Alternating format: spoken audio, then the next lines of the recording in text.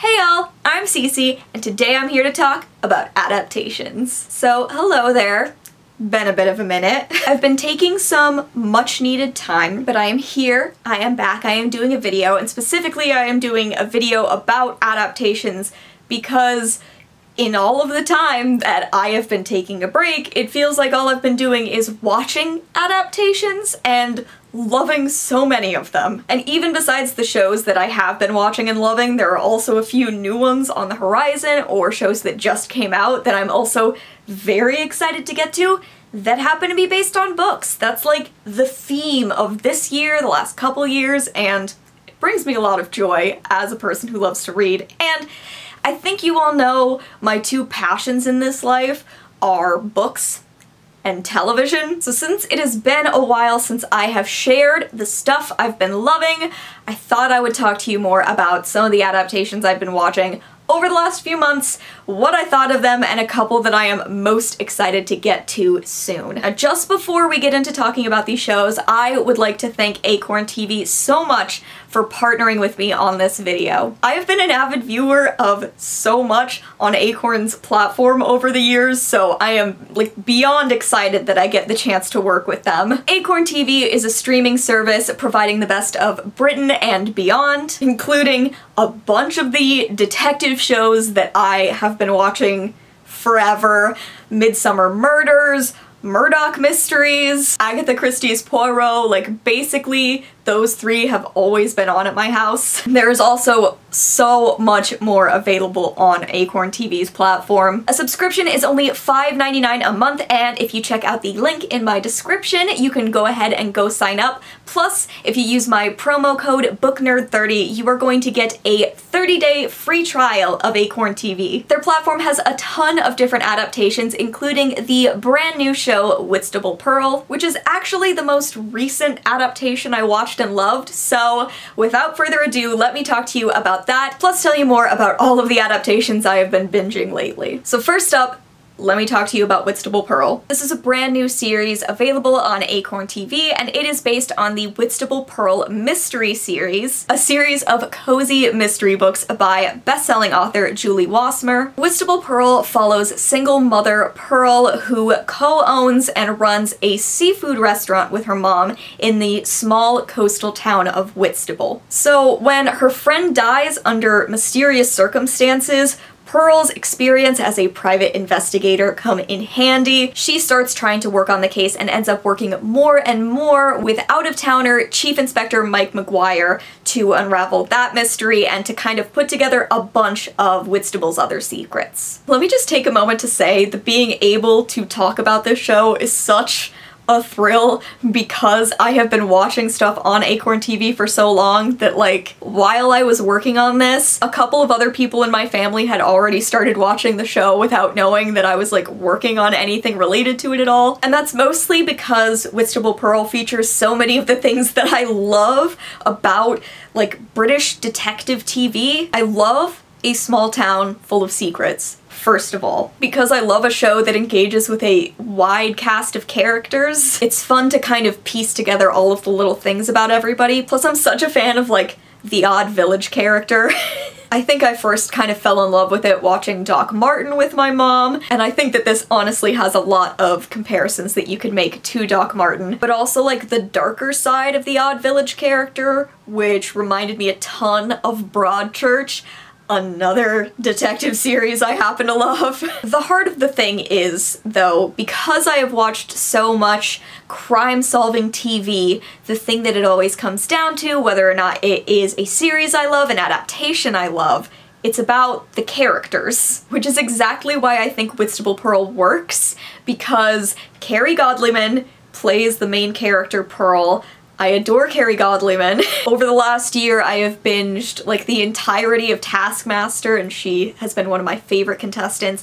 And I'm also a huge fan of the other lead, played by Howard Charles, who you might remember from Shadow and Bone. if you didn't recognize him right away, that's okay. It's because they're two such distinct characters that it completely blew me away and it took me ages to even figure out that it was the same actor. The two of them bring so much heart to Pearl, to Mike, to the rest of the characters, plus it's a series that's based so much on Pearl's relationship to her mom and the fact that she's a single mom raising her son. Every time a crime show starts to involve family as well, I'm always just a little bit more into it. So, to sum up, Whitstable Pearl is incredibly atmospheric. It features a huge cast of characters that you get to learn a little bit about in every episode, which I love. Plus it has main characters that like totally have that chemistry, but they also get to have their moments where they get to engage with grief and loss on their own and together, which is yet another brilliant thing. if you're looking for a good atmospheric murder mystery to binge over the weekend, highly recommend that you check out Whitstable Pearl. So since I was just talking about Howard Charles in Shadow and Bone, let me talk about Shadow and Bone for a second. Shadow and Bone is the adaptation of some of the novels within Leigh Bardugo's Grishaverse. Specifically, the first season is adapted from Shadow and Bone, and it includes characters from Six of Crows, but it doesn't really include the storyline itself yet. So, Shadow and Bone follows Alina, who is a map maker in the First Army, who is forced to confront far more intense enemies than she ever anticipated when she discovers that she has a hidden ability. So Alina works on honing her skills and taking her place in a much bigger universe while everyone else in the world kind of converges in on her. I read Shadow and Bone, but I did not end up reading the next two books in the series. I wound up skipping them because I didn't I didn't care for the book, but I did wind up reading Six of Crows and Crooked Kingdom. They're two of my favorite books of all time. This series was so good. I have been incredibly worried, mostly because of the fact that uh, I've been stressed that I would only like the characters I cared about in the books, and I was worried about getting invested in some of the characters that are from the original Grisha trilogy. I guess it's now the Shadow and Bone trilogy. But I loved so much what this adaptation did with Alina and, I mean, honestly, with Mal, who I didn't know that much about in the book. It was just kind of like glazed over me, you know? It developed those characters into people I cared about. Plus the other thing that I love about this series is that it really manages to balance tone, I think, where it is a pretty dark show at times. It deals with some intense topics, but it also has its great moments of levity, in particular related to a goat, if you've watched the show. Honestly, if you haven't watched the show, you probably at least heard about the goat. I loved the goat, many other people loved the goat. But the ability to balance out those super high stakes fantasy moments, mystery building moments with times where you can just have a solid laugh Huge fan of whenever a show can pull that off, and I loved the way it was executed in Shadow and Bone. And don't get me wrong, it was it was pretty amazing to see Kaz. Seeing Kaz on my television screen brought me a lot of joy. He is so important to me, and uh, I I love him, and I'm very excited for a season two. Moving on, I want to talk about an adaptation that's a couple of years older, but I just recently watched it, so I'm gonna talk about it, and that would be Big Little Lies. This is a series based on the book Big Little Lies by Liane Moriarty, which I read last year, I think, and I put off watching the show until I had read the book, so I've watched the show now. I did elect not to watch season two because I'm good. I'm good. So, Big Little Lies, we start out on a school trivia night, which has somehow ended in murder. But the question of who died and who did the killing we're not so sure about. The show is centered on five women who are all mothers who are somehow central to the question of this murder and how it took place. So we are going through their lives leading up to the school trivia night, piecing together clues so that we can try to figure out what happened. Big Little Lies is so atmospheric, and I was constantly thinking about it during Whitstable Pearl because anything set near the sea, it just brings a certain kind of calm over me. Most likely because I've always been soothed by the ocean. the thing about Big Little Lies is that once it has your attention, it has your attention. The fact that there's this question of the murder for the entire series is very engaging because usually you kind of know who got killed. But the fact that you're trying to work out the mystery without knowing if certain people made it out is like such an interesting layer to add to it. Also, it's one of those shows that has a ton of characters that have like not to, I, I don't seem to have a better phrase for this, who have a lot of character. As you're getting to know the main characters, you're also getting these little cuts of people the night of the school trivia night being interviewed by the police. And so you get to start to know these side characters who might only appear in a couple of moments in the central characters' lives. You get to build up kind of an idea of their stories and their secrets that they might have. The thing is, if you can make me care about a character in a television show, then you've got me. That is what I want to watch is interesting characters who are developed over time and who I can engage with even if they're not perfect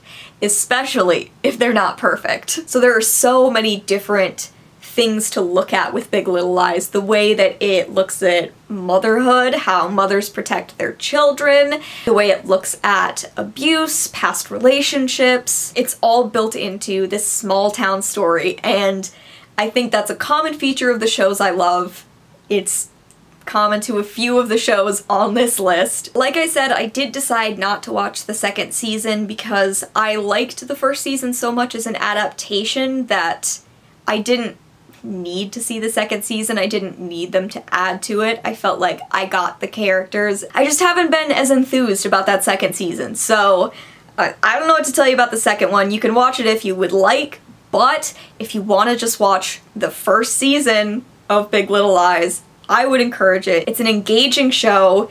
It is atmospheric, it has great music, and a really good mystery. Alright, let's let's turn a little bit when it comes to atmosphere so that I can talk about Lovecraft Country, which is based on a book with the same name by Matt Ruff. Lovecraft Country is a horror drama that follows a bunch of different characters in the 1950s in the United States. First character we meet is Atticus Freeman who meets up with his Uncle George and his friend Leti and they are going on a cross-country road trip to work on George's Green Book style guide for black Americans traveling safely across the United States. But the other reason they are are going on this trip is they are on a search for Tick's long-lost father, and this drive uh, it goes a little off the rails. They end up in landscapes of cosmic horror, powerful magic, and the racist injustices of white America. I was like enthralled by Lovecraft Country. And the thing is, this is a dark show. It's cosmic horror mixed with racial injustice, and that makes it a lot. I, I will, it makes it a lot. However, it has some of my favorite new characters of all time. Jurnee Smollett and Jonathan Majors as the two more central characters are incredible.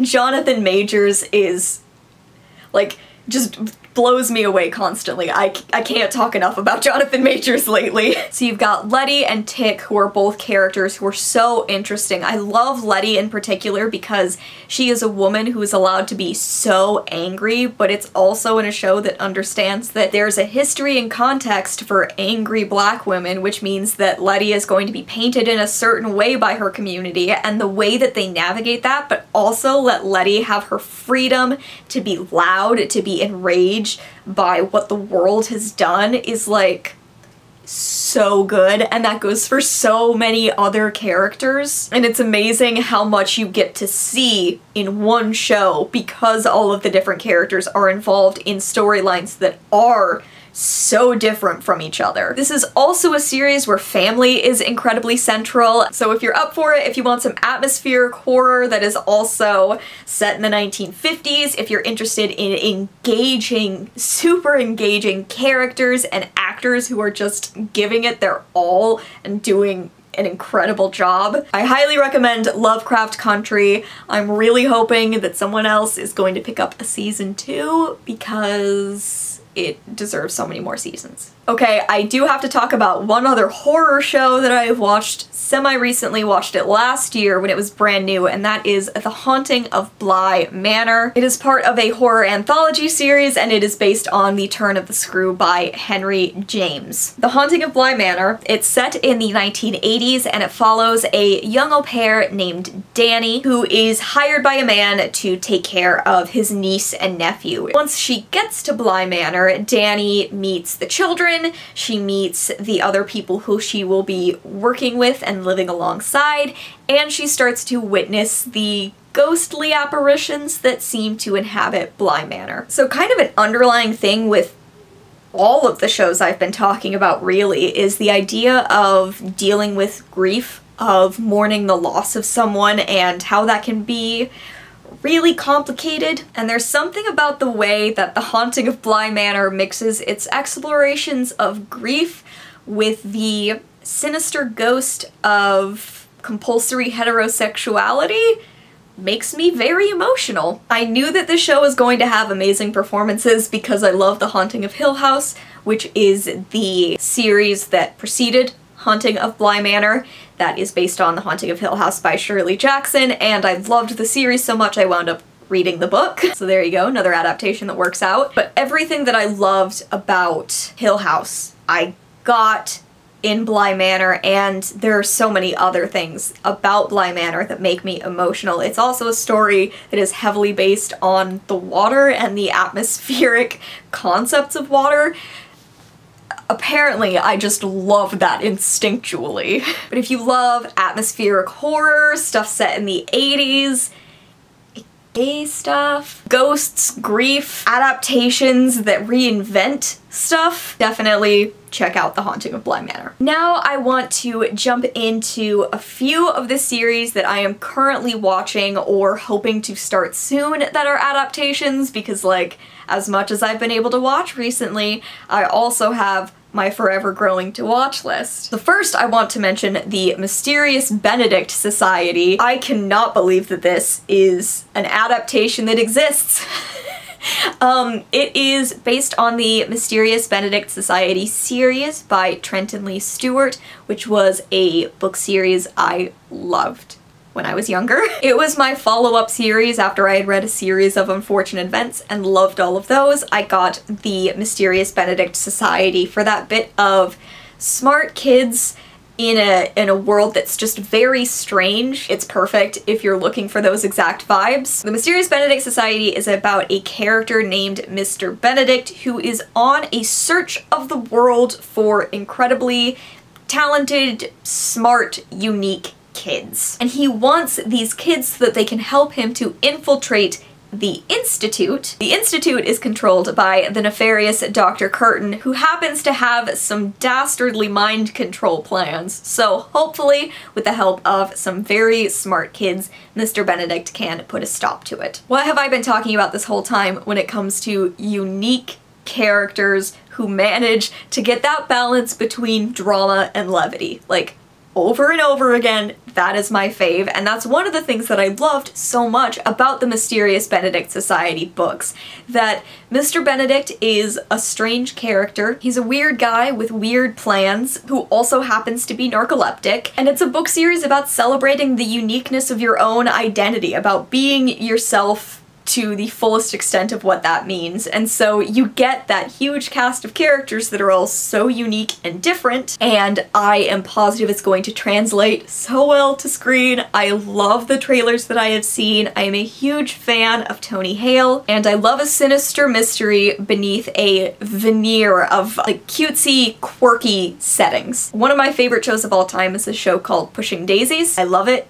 It's it's actually my favorite show of all time. I know I, am using that word, I'm being literal this time. Pushing Daisies is my favorite show. The entire point of that show is that it is a cutesy, oversaturated wonderland and the main character is a necromancer who uses his abilities to help solve murders. So, I have a type, and I think that this fits it so well. I can't wait to watch it. I am also looking forward to wrapping up Sharp Objects. This is a mini-series based on the book of the same name by Gillian Flynn.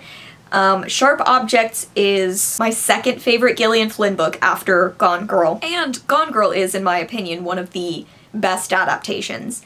Um, to film form, I just think it's incredibly faithful to the book and it totally gets the vibe. So Sharp Objects I have watched the first few episodes of, and I have been enjoying it so much.